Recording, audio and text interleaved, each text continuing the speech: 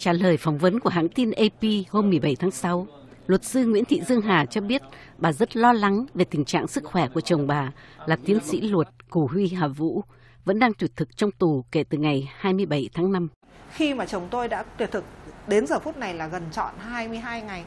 thì mà vẫn chưa được cái dấu hiệu gì là hồi âm cái đơn tố cáo để cho tôi dừng lại thì thực sự mà nói là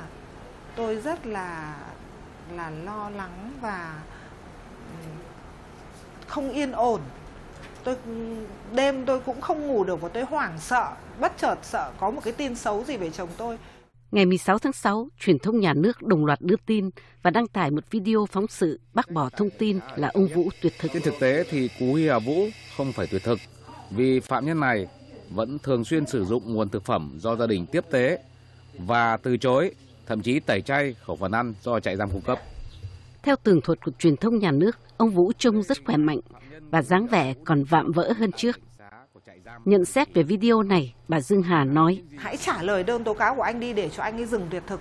Bởi vì là à, nhìn thấy anh ấy to, nhìn thấy anh ấy đi lại được thì nghĩ rằng thì anh ấy còn là trụ được. Nhưng tôi lại rất lo rằng rằng với cái tim của anh ấy như thế, với huyết áp của anh ấy và với một cơ thể con người, cái sức chịu đựng nó chỉ có hạn thôi.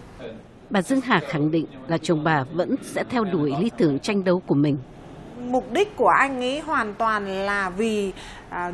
dân chủ nhân quyền à, cho người dân của chúng tôi và vì toàn vẹn lãnh thổ cũng như hải đảo của đất nước chúng tôi. Đấy là việc làm mà anh ấy luôn luôn tự hào rằng là anh đã tiếp nối được truyền thống của cha ông anh ấy. Thì chắc chắn là à, dù ở trong tù hay ở ngoài được tha ra thì nhất định là anh ấy luôn luôn là vì một cái mục đích mục tiêu cao cả đó. Năm 2011 luật sư Cù Huy Hà Vũ bị kết án 7 năm tù giam và 3 năm quản chế vì những tội danh như tuyên truyền chống nhà nước, kêu gọi đa nguyên đa đảng và đòi xóa bỏ vai trò lãnh đạo của Đảng Cộng sản Việt Nam. Ông là con của nhà thơ cách mạng Cù Huy Cận và từng tốt nghiệp tiến sĩ luật tại Đại học Sorbonne.